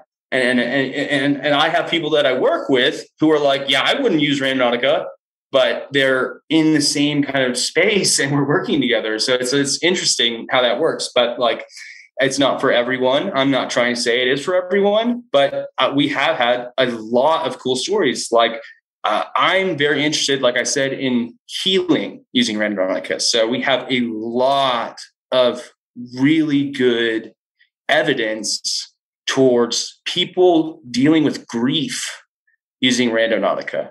They'll like oh, wow. find like where their grandma died or something, and they'll be like, it, helped me come to terms with that loss. So like it'll constantly, I, this is one that I hear very commonly. And, and as much as I get accused of being a Nazi shapeshifter, by the way, 600 of my people died in the Holocaust. So that's not possible. But mm. um, as much as I get that accusation, I get people in my Instagram inbox every single day saying, you changed my perspective on reality in one single Randonaut trip. And that is what keeps me going. And, and that's why I do it. I, and if a, a thousand people use it and don't get it, but one person gets something out of it, I will keep doing this and dig my heels into the dirt and keep doing it for as long as I possibly can. And it is not cheap to rent servers for millions of people. like that's something I found out real quick when I got a six grand server bill, and I was like, "Whoa, we gotta like tighten up ship a little bit." Yep, but yep. all of a sudden yeah. you're you're selling a car, moving back in with mom just to keep the lights on. well, what's funny actually is I, I when when Randonautica like was introduced to the world, basically the the Telegram bot. Uh, my father had a stroke like maybe that day or maybe the next day or the day before. Like I can't quite remember, but it was like the same week. My, my dad had a stroke. And so I had a lot of time on my hands because I was his sole caretaker. And I had a house because then my, my father and my mother were divorced at the time. They're still divorced, but they live together now. But I was caring for my dad because a stroke patient, they are they can be very difficult to deal with. And my dad was a boxer he was a bad dude. Like, I mean, he's a good dad, but he was a bad motherfucker. And when you got somebody who had a stroke, they're not all the, way there, you know? So I was kind of like living in a crazy house almost. Like, and I had a lot of time to go random randonauting because like I was caring for my dad at the time. And I had a lot of like time to to deal with my dad.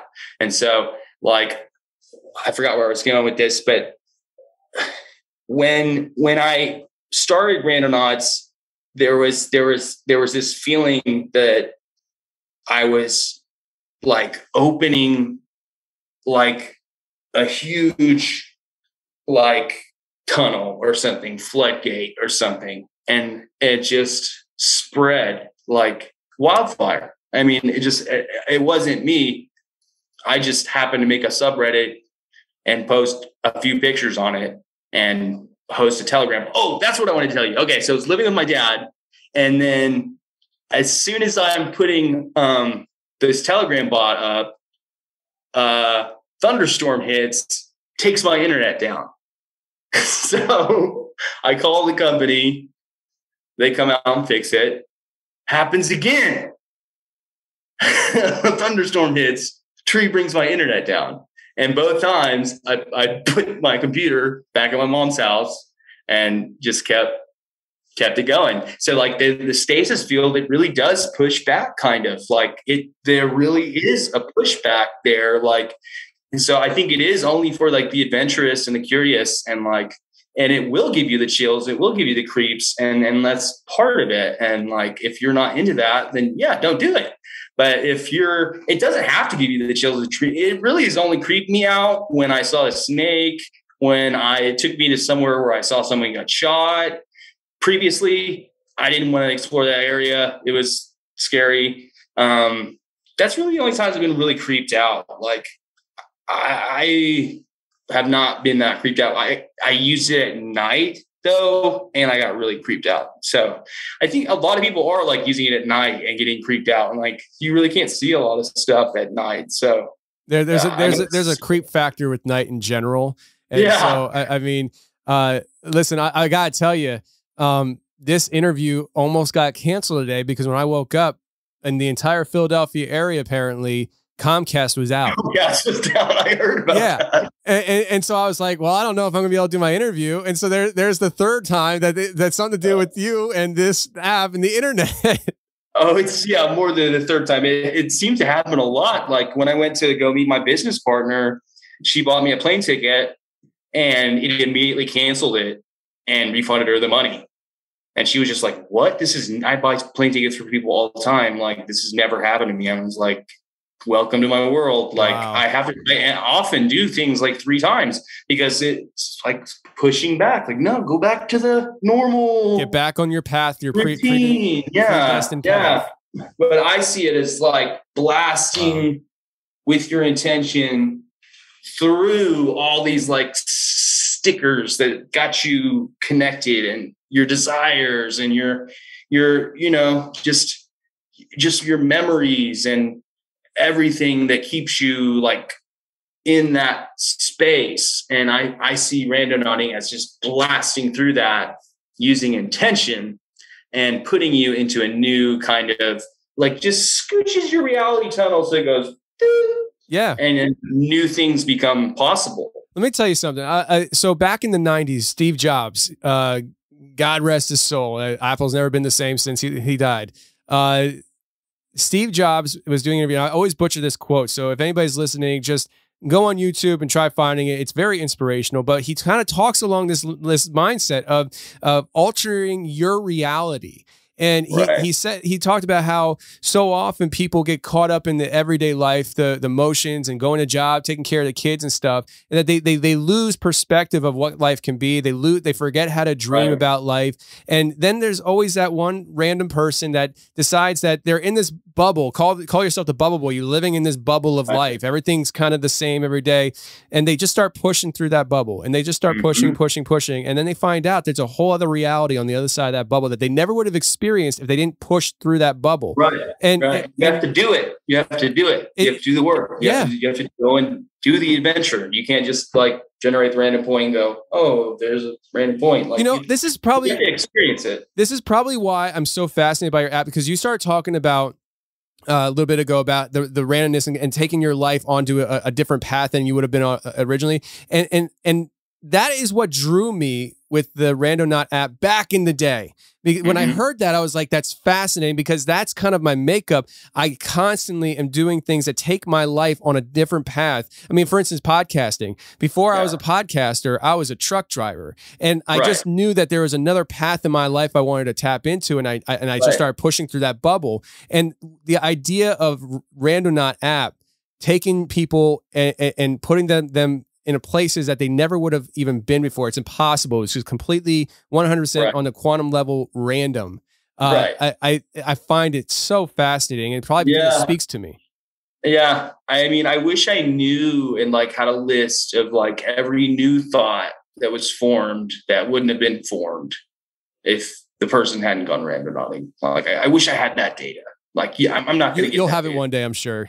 yeah, it'll just print out itself and it's like, oh yeah, that's what we deviated from this timeline. And but it, it really is exploring the multiverse because the multiverse is causal. So it is literally inspired by Rick's portal gun from Rick and Morty. So like, if, if you want to call it anything, it's that. It's not a cult. It's stupid cartoon. just a bunch of guys nerding out and going, hey, we can, uh, you know, get past our normal frame of reference by using this technology. And like the fate or determinism breaking isn't even like scientifically disputable. Uh, people want to dispute us for a lot of things, but that is not disputable. If if if you're using randomness in your life, you are you are deviating from your normal patterns. Yeah. That's not disputable. I mean, there's multiple people who do that. Uh, Max Hawkins is a guy who was doing it before I was. He made he made a, a thing where his computer made all of his choices for two or three years, and he just lived his life completely randomly. Um, so and like I've talked to him a couple times, and it was like talking to a monk from a different sect or something. It was so interesting because he's not interested in the quantum at all. He's just like, I'll choose a pseudo random generator, and he still experiences like he and his business partner were breaking up, and they were like, okay, I guess we'll go to a random place to have this breakup conversation, and it took him to a pet cemetery. So it's like it's kind of like it, there's like a humor to it, but even he has experienced these kind of serendipitous. And so I don't know if it's an artifact of the quantum realm. I am not going to say I know anything about quantum physics. I will never say that. I don't know. I've Right. googled the, you know, eraser experiment or whatever, and quantum eraser experiment, the Asher Paris paradox. Um, just uh, Scott Wilber in general, his research is really good. Um, I, I forget his, his ComScire is is the is if you want to Google it, ComScire. He sells random number generators. He has pu- papers published where he won a lottery ticket using this kind of technology. Just a three ball Boom. My my audience just got rich. You're welcome.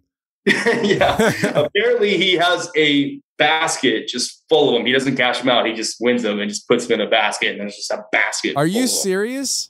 That's what I've heard. I I can't Get me that guy's confirm address. I need to break in. Los Alamos Labs. Uh, well, oh, well, there you go. Uh, Yeah. I, I need somebody smart to help me break in now. I'm just kidding. Everybody who's listening, the algorithm, Facebook, YouTube. I'm just kidding. Yeah. I am just kidding. Uh, yeah. Let me let me uh, talk to you. You mentioned about this a couple times, and you, you said you can't go into great detail, but I, I do want to bring this up again: the healing aspect of the app. Yeah. Uh, now, when you first said it, my first thought, and probably because of my Pentecostal upbringing, I thought healing as in, you know, ow, I broke my arm in half, and the random app, uh, not app, is going to heal my arm. I- I- but what you're talking about is more psychological and emotional healing. Is that what you're saying? Um, Or are you saying right, you're going to heal right my now it is um I, I I will say that I, I believe we will begin to gather data that will help doctors who do actual healing Wow. using retrocausal retro retrocausal techniques. So you basically go to a doctor and get healed for a disease you never had, Jeez. and which is weird to think about, but yeah. So like, so like almost like futuristic, like, wow, Yeah. that's so. Uh, Yeah. We're talking about you're Tom Cruise now, and you're predicting the next crime kind of thing. You're, you're predicting who's going to get sick next, and we're going to. Yeah, the government, I bet, uses it for that reason. I I'm was sure. told by someone with the security clearance that they do. And so, yeah, the, the government's been experimenting with this stuff forever. And, and, you know, it, the United States government has a large fundamentalist Christian base who pushes back on this kind of research. Whereas in like Russia and places like that, like Sony had its own Mind Machine interaction department. Japan Really? had no problem with it. They have way more research than we do because they were just open minded to it. So, like, Wow. we have to get past like it's demons. Like, there are demons, but we can't be calling good things demons. Like Right. that's you know that's just ignorance, and that's not what God would want for us. You know, like He wants to see clearly, eh, have discernment, have wisdom, and you know, Well, it's it's like with any new technology, science throughout the the, the generations. I mean, the initially, like there's oh, like I said, you're the doormat right now. Like there, there's Yeah. always that doormat where everybody kind of like to step into that new way of thinking. You oh, everybody's Oh, stepping on that doormat to get in Yeah. there, you know. And I so it. it- it's like it's like my job is to apologize. I love it. I've yeah.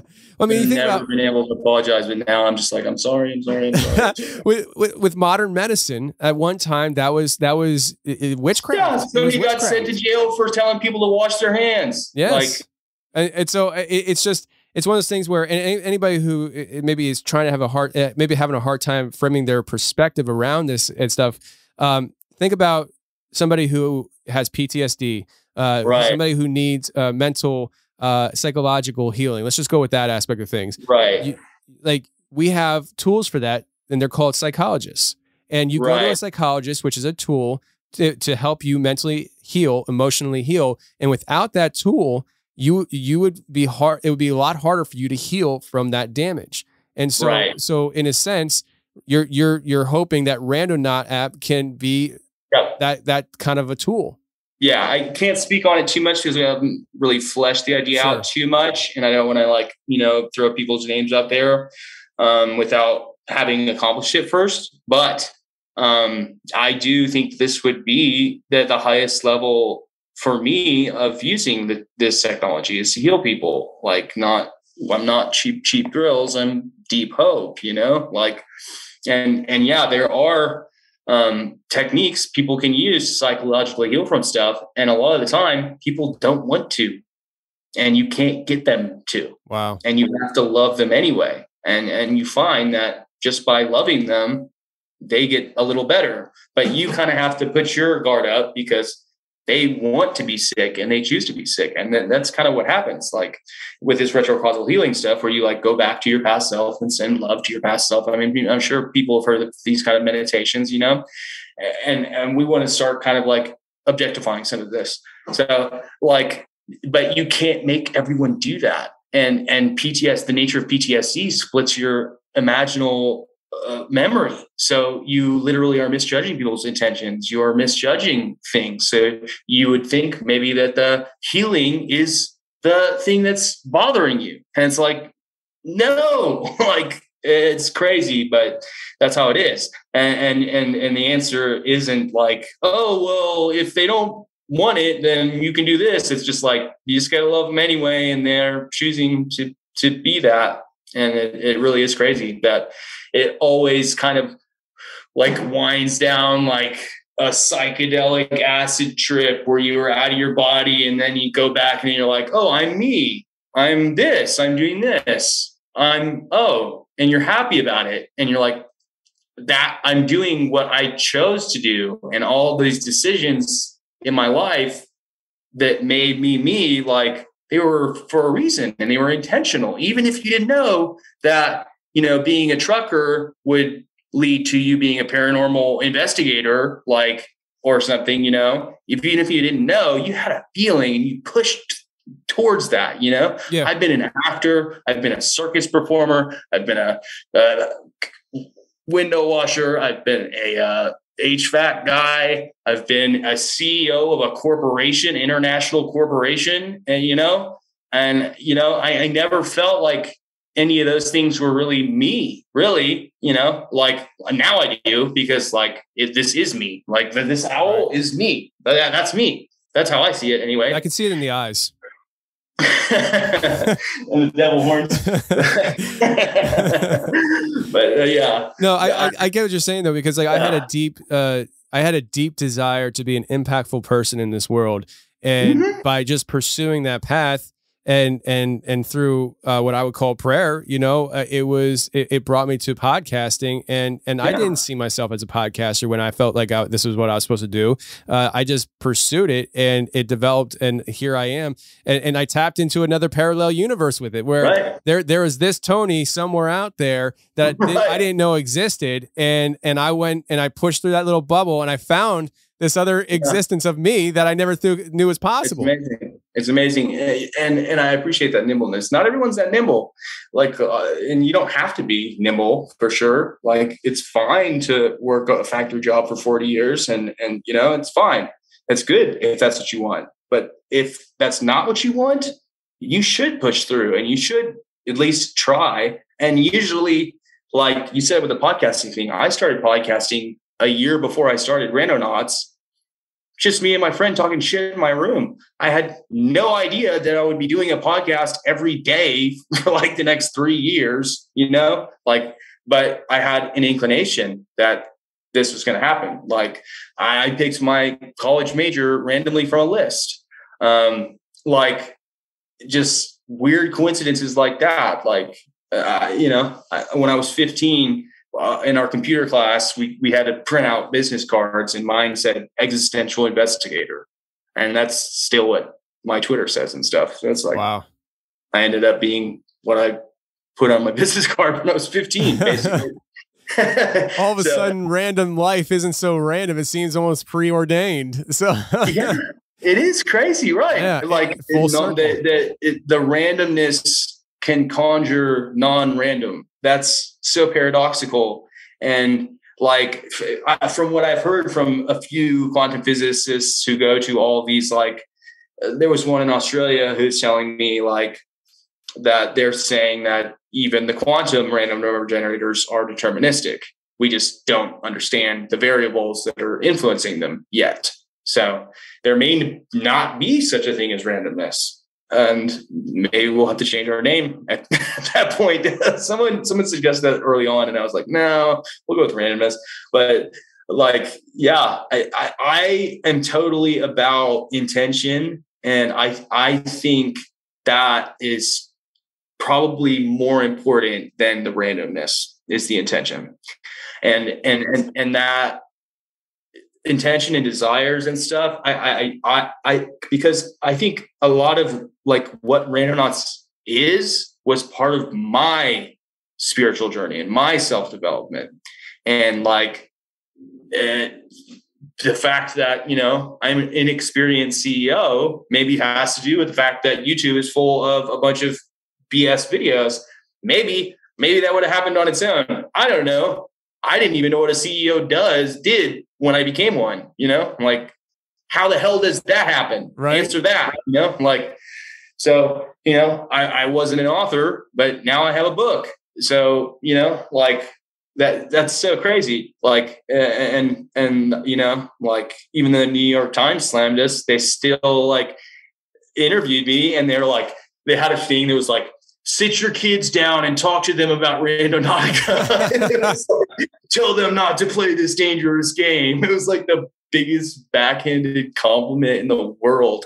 And like we gave this reporter access to this um, Los Alamos Labs guy, Scott Wilber, who invented this pulse oximeter. If you want to look it up, it's a piece of laboratory equipment used in every hospital every day. And he has patents on this stuff.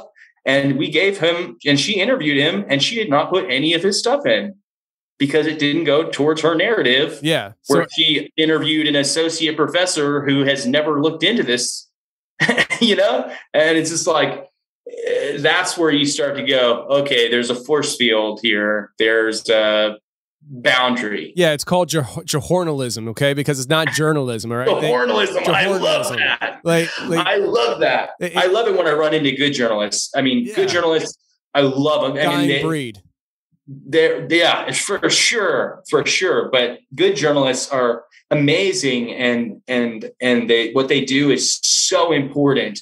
And like, yeah, there needs to be like classes or something about old school journalism or something because the new gotcha journalism is so just like well, it's, boring and played it's the, out. It's the clickbait. It's the clickbait world that we lived in and we, that we that we created ourselves that right. made this monster because now it's all about getting paid off of clicks. And so it, it's it's yeah. not about the story. It's about developing a story around an idea. Right. Right. Yeah, and I never really wanted the clicks, man. I never wanted to be famous. I never wanted to be a C-list celebrity or whatever, you know. But here I am. You know, I wanted to cover my face. You call me comrade, but right. I got shoved out of the nest because somebody chopped up a few people and put them in suitcases and I had to go on public TV. I mean, I was on Russian national TV. Like they actually gave us a fair shake, the Russian military TV. And uh, wow. Yeah, just like NPR and like just crazy stuff uh, where it was just like, like my dad was like, you're not a loser, son. You know, like thanks for the positive reinforcement, Dad. I was never a loser, but thanks. Yeah. you know, such a dad thing. Like, I'm finally proud of you now that you got interviewed by the New York Times. But I got that, you know? Like a lot of people never get that. Right. I got it, you know? And, and there's Even no the there- like, like there's it. no uh when it comes to that kind of stuff so like th- yeah it serves their purpose and stuff but at the same time you benefit from it so like, wh- absolutely. whether they, they say tell your kids never play with this app and here's why the problems and stuff they're still giving it the attention that you're seeking and so I mean, you win in the yeah. end it was like an Andy Kaufman what wet dream for me. I mean, just to be toying with the media like that, I yeah was dying. I loved it. I, it's just, I love it. I, I- I love the mystery that surrounds Randonautica. I don't dislike it. I like the videos. I enjoy the videos. I like cheesy horror movies. You know, we but but we need to maybe rethink how we're teaching our younger generation discernment. Because a lot of them whatever they see on the screen is reality. Yeah. And that's hyper reality in semiotics and stuff. And that is when things become a little weird. And like if you can't tell the real from the fake yeah that's scary. Like that's really scary. And uh, yeah, i don't know how to fix that but one way was we created our own social media feed. So you can go on randonautica and get on the discover feed and you can post your own trip reports. And we have like our own little space now that was because before we had this decentralized model where we just used everything on the internet and people could post anywhere. We're still doing that but we also have a centralized feed now. And it's going to like have options for users to show their location if they want to because we have people who are like they're tracking us. And then we also have people who are like hey can i show my location to my friends? And it's like yeah sure. You know? We want it to be able to like if you don't want to be tracked you can turn that off. And if you want to be able to have your little bloop i'm randonauting yeah we, we want that. And then have people be able to say well, well here's maybe not a random spot but a really cool spot you should check out. And like we're gonna have that and like just like a legendary page and like yeah we, the, the discover feed is really interesting because it's an international phenomenon. This whole conversation has been sort of ethnocentric because like i said previously the united states is a little bit behind in a lot of these matters because of the religious beliefs and stuff. And like i'm not saying that religion is bad. I'm not saying that Christianity is bad, but I am saying that it has hindered us from some psychic research. Definitely. And and there are people out there who whose job it is to basically fuck up and use counterintelligence techniques and to fuck up consciousness research. That's a fact. Right. Uh, an unfortunate one. Like even if you're at the smallest level, they're going to get on there and start helping you until they don't you know? And and that's just like a fact. And like why is that? Why you know?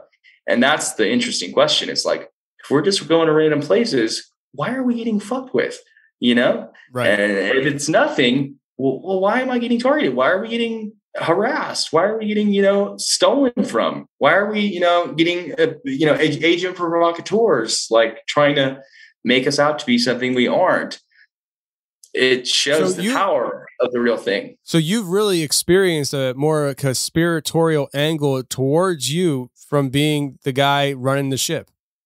Oh yeah.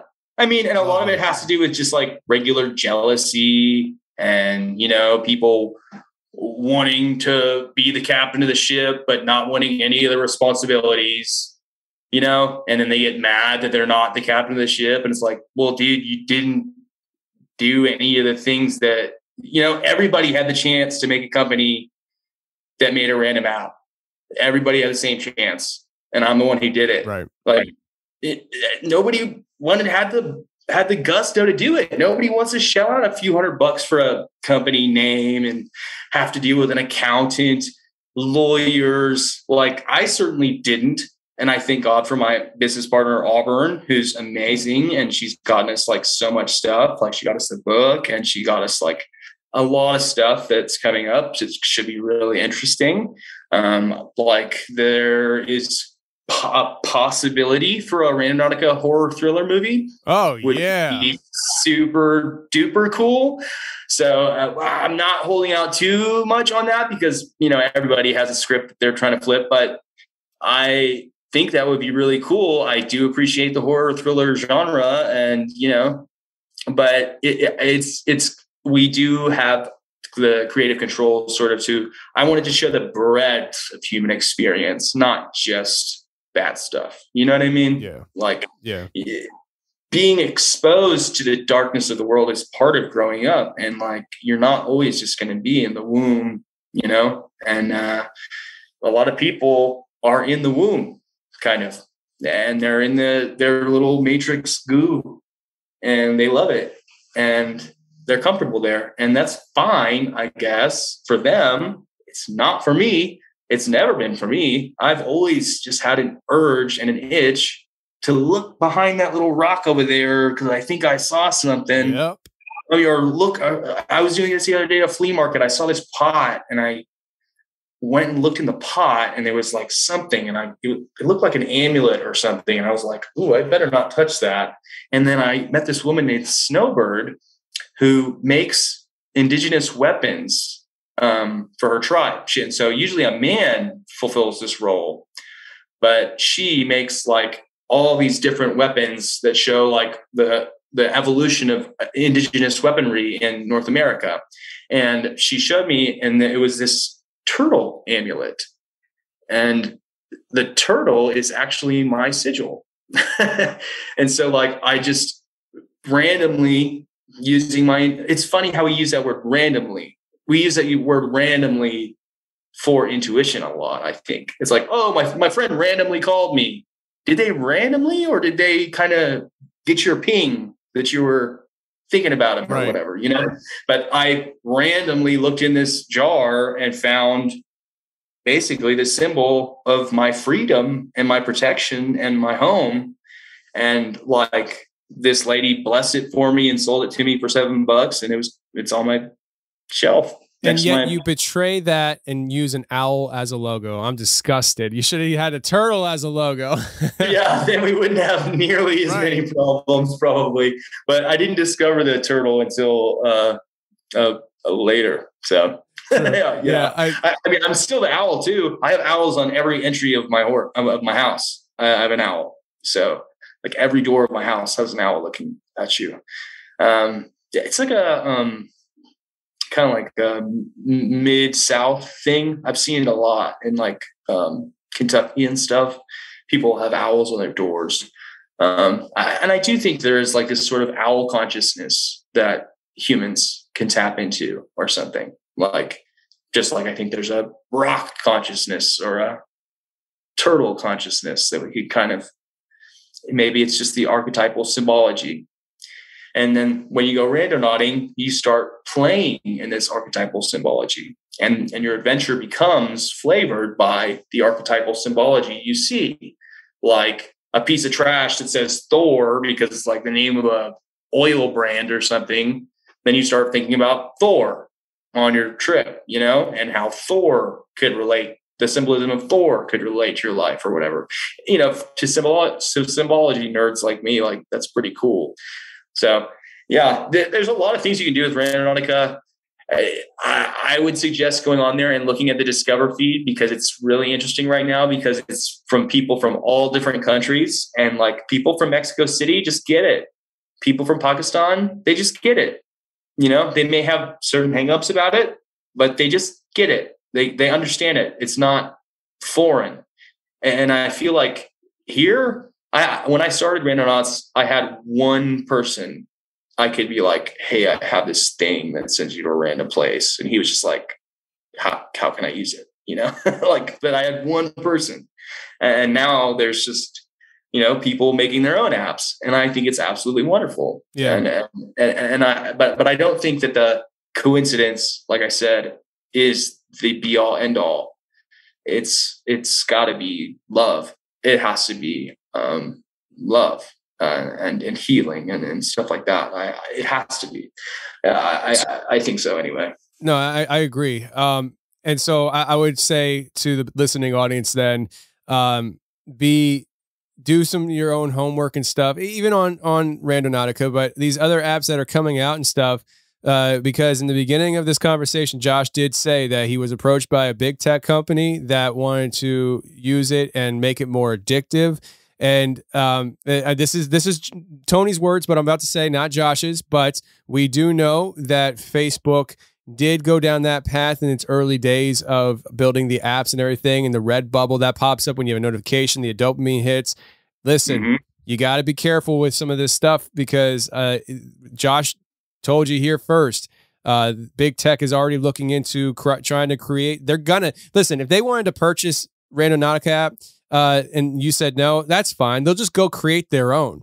Right. They're gonna they go- or just strangle us from the inside out somehow, or make us not show up in search results, or yeah, not allow us to be on the App Store or something, or just put it in Google Maps, or What what they can do really is just they have an infinite budget. They can Right. create a, a better app than yours with the addictive properties they're looking for. So once they get Right. users on it, they never leave, and eventually they just squeeze you out that way. Right. I, I wonder why they're not. I mean, people are doing a pretty good job of making interesting stuff right now, um, but I think they are so busy copying us that they aren't thinking Right.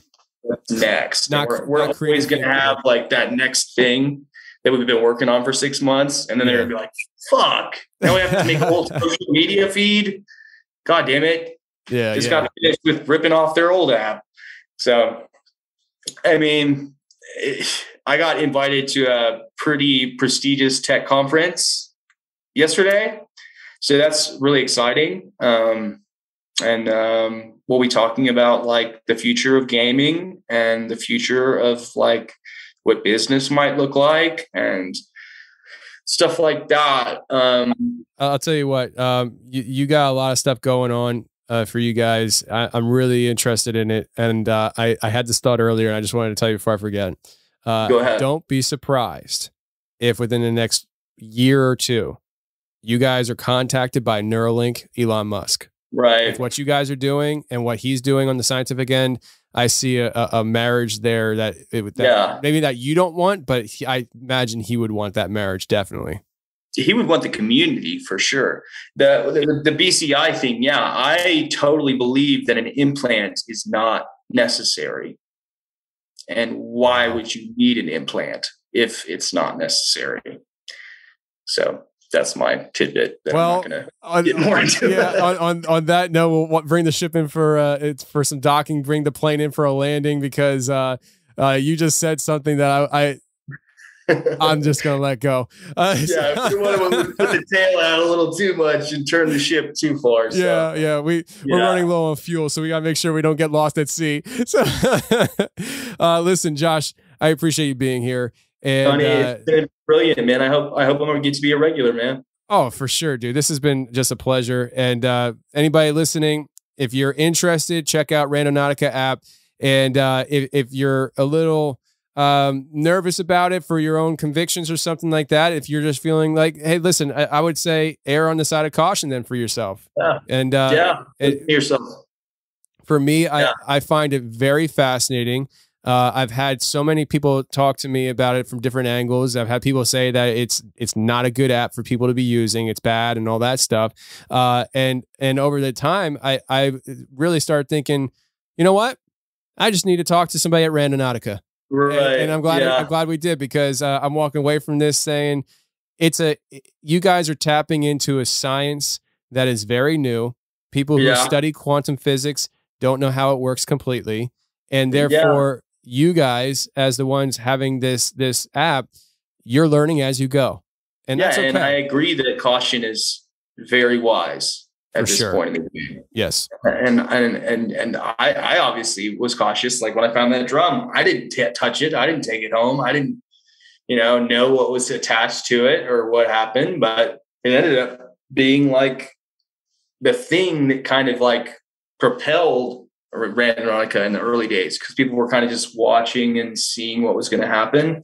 And then I found that drum, and people were like, "Oh, there's stuff out there. Let's go find it." And then after that, it was just like people finding weird structures built in the desert and UFOs. I mean, we I got Oh three, man. three different UFOs on video.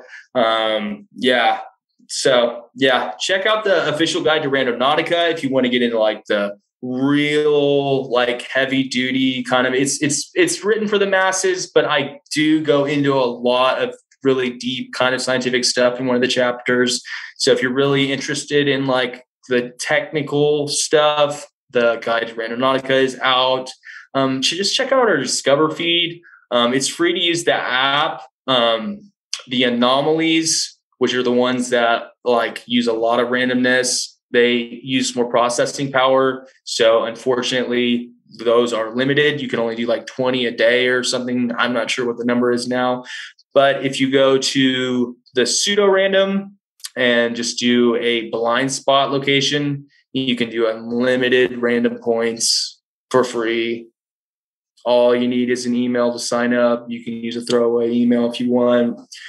Um, yeah and just if you want experiment with it and i would definitely recommend bringing a friend don't do it at night use situational awareness if your body is telling you i should not be going to this kind of shady area of town don't go Right. because the app told you to go people are like i got stuck in a riot because of your app this is something i've heard and it's like yeah but you weren't really paying attention you were walking into a riot were you like I don't I don't get that, but yeah. So, So- be careful, have fun.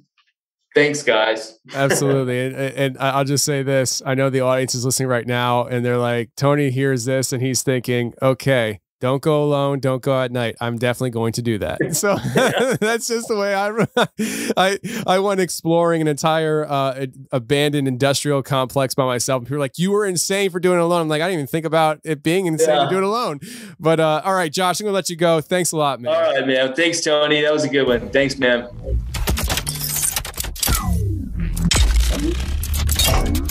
Well, that's the show, everybody. I really hope you enjoyed it. If you did enjoy it, please share the show with your friends. I don't care where or how you share the show. Just share the show if you enjoyed it. If you've ever listened to any kind of content revolving around Randonautica, maybe this was more enlightening for you because we actually got to talk to the guy who started the whole thing, the CEO of Randonautica app.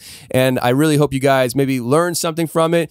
Curious. I don't know. I just hope you guys enjoyed this conversation. And until next week, friends, stay safe, take care, and remember the truth will set you free, but first it'll piss you off. Bye. Awakened from the forest in the depths of the abyss, this creature is a paradigm of time lost and time itself. It fears no one, it adheres to no rule that man can create. It forges its own path, and yet its path remains hidden from the world. The sphere of its existence is beyond most comprehension as it exudes its power quietly but transcendent. It needs no one's approval to exist, but yet its very existence is sought after by many. It watches, it learns, adapts to the ever changing environment around it, even as the environment is wrought with corruption. It battles the corruption only when pressed or for the protection of others like it. It is a mirage that few will ever understand. It's a cornucopia of knowledge from an era long past. It's free. It's Bigfoot. My fantasies always consisted of making it big. My soul was nothing more than a bargaining chip. Marketing is what they tell you to do and what you're willing to give. LARPing to the fullest extent. I don't wait, I shoot first like Han on a roadie. And these people don't understand me like reading a Nokian. Stretched thin, like pulling an accordion. My heart ain't primordium. All these historians telling us lies, setting aside everything is medicalized. Politicians selling the ride. I bet 'em a die where the relevance lies. They dressing alike reptilians. My resilience is brilliant. I'm here to lead the rebellion on Hellion, salient, alien with no melanin. I'm a Yeti, ain't hiding from Armageddon. Come and find me, I ain't even hiding. We ain't the same. I play no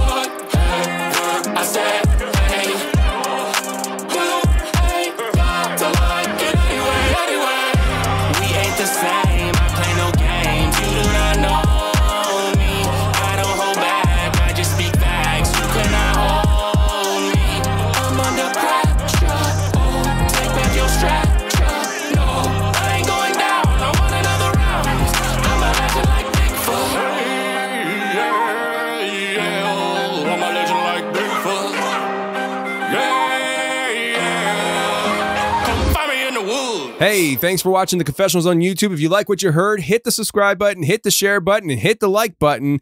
That would be a great help to me. And if you want more of the confessionals on a weekly basis, every Thursday I come out with a special show just for members on my website. So if you want to check that out, go to theconfessionalspodcast.com, hit the join button, and become a member today. And every Thursday, you'll get a new show and you can binge on previous shows, which there's almost a hundred of them. So if you love the show, go ahead and check it out. But thank you very much for being here on YouTube and checking out the channel.